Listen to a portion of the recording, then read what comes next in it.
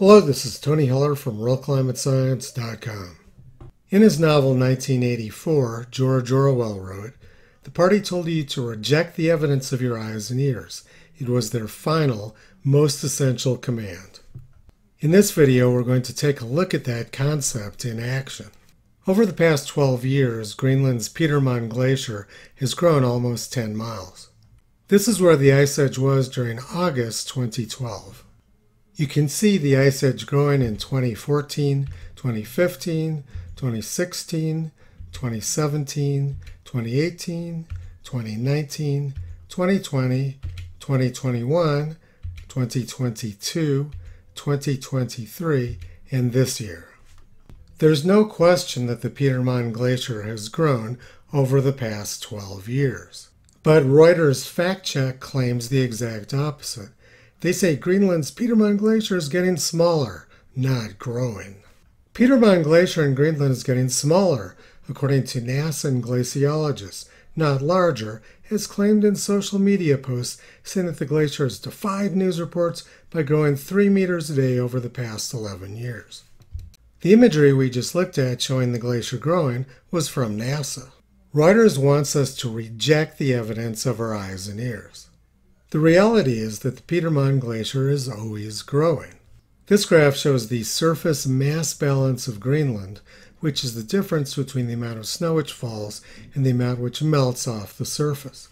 On average, almost 400 billion tons more snow falls on Greenland every year than melts, and this year has been just about average. This excess snow builds up in the interior of Greenland and forms glaciers, which flow down to the sea.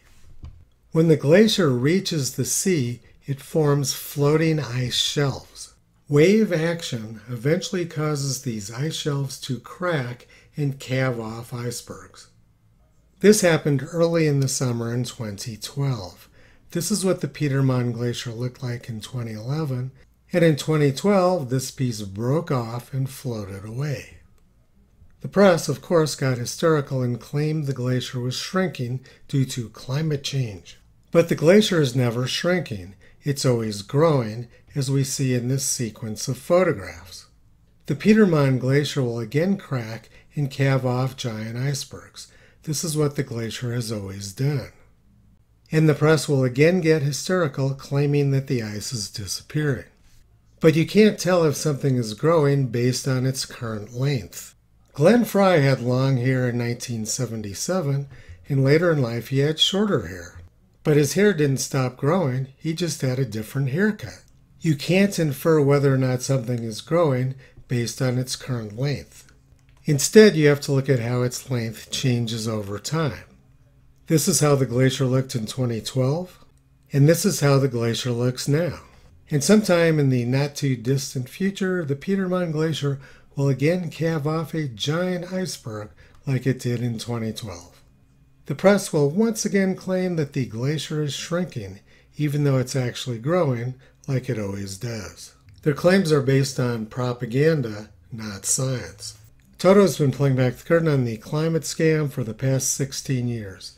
You can visit him and his family on the web at realclimatescience.com.